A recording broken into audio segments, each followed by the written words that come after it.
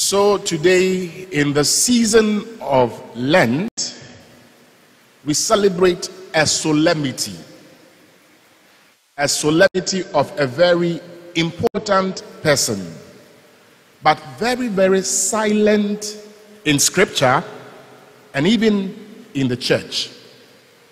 Pope Pius IX made Saint Joseph the patron of the month of March. So the whole month actually is dedicated to Saint Joseph. In addition to the fact that he is the patron of the church. When we say, you know, we have patron for CYO, patron for Christian mothers. He is the patron of the Catholic Church. And again, the protector of the church.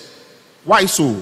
Just as he was able to, to take care of Jesus, the only, you don't joke, eh? Picking um, a father for your only begotten son. It was Joseph from the line of David, whom God Himself chose. And so we believe that just as He took care of Jesus in a wonderful way, He takes care, He protects the church in a special. In addition to that, He's also the patron of a happy death. You know, as Catholics, we pray, pray for us sinners now and at the hour of our death. He's a patron for a happy death. I've been praying to him that I'll die in a happy way. Why not? Because it is believed that he died in the presence of who? Jesus and uh, Mary. And for that matter, we invoke his intercession for that kind of death. What can we pick on a weekday when we celebrate the solemnity of Saint Joseph? I believe that we can learn from his righteousness. He was known to be a just man. Emmanuel Codjoe, am I just? You, are you just? Can they say, oh, she was a righteous woman? She was a just woman. Oh, he was a just priest. He was a righteous priest. And I believe that this example of Saint Joseph, as I said, who was very silent, but did a lot in protecting Jesus Christ, being that legal father of Jesus, to protect, to be. It's not easy to take care of, quote unquote, a, a, child you have not given birth to. But he accepted the will of God for him. And that is the second point. I've been asking myself, but didn't Joseph have plans for himself and Mary? He's chaste. St. Joseph never had sex with Mary. That is church teaching. Chaste. The fact that he didn't go behind his wife. And again, he was chaste in what? In marriage. Let's take note of that. Two points. That he never, he, had a, he didn't have a side chick in Nazareth. So, Auntie Papa, you're laughing. No, that's the truth. He didn't have a side chick in Nazareth. So, or let me go to Bethlehem small and visit small and come. No, he was a chaste man. And even in marriage, he did not touch his wife. I'm not saying don't touch your wife. You are not saying Joseph. Take it easy.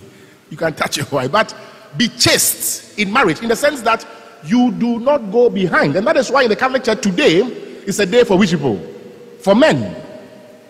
Men, oh men. You they who didn't come to church for to celebrate Saint Joseph. But it's a day for you to learn from the virtues of Saint Joseph, who was the husband of what? So uh, look at yourself. Me, I'm married to the church, so I'm looking at, but ask yourself. So, are you a worthy husband? Are you taking care of your wife? You have never even bought a cloth in Toma, in for your wife before after uh, engagement. That's all. Even when your wife helped you to buy it to get her married. That's the truth. Let us be sincere. You don't tell your wife you love her. You don't give her care. Today I'm on the men because it's St. Joseph's day. Another day will be the, the woman's time. But let, let us not make marriage life stressful. As a man, you have a responsibility to take care of your wife, to take care of your children. I'm telling you, Joseph, I believe, had plans he had plans for himself. But when God chose him as the spouse of this young girl, of course, betrothed already to, to her, and he didn't want to divorce her quietly. God said, hey, hey, hey, you lie, but the child is mine. Go on. He accepted. Even when in Luke, Jesus got lost, quote unquote, the missing child, Jesus. You remember? In Jerusalem.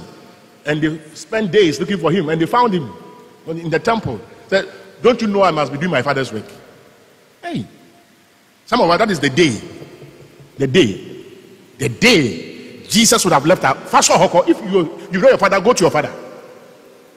Silently, he continued the task. Let us accept the will of God for us. So, two things. Number one, be just, be righteous. Number two, like Joseph did, let us accept the will of God for us in our lives. And for men, married men, let us learn from Saint Joseph, for whose celebration today in Lent we celebrate a solemnity. It's like Sunday. We shall recite the creed. We have sung the Gloria. Even when Lent, we don't sing Gloria, even on Sundays, because of the virtues he lived. May God be with us in a special way. Amen.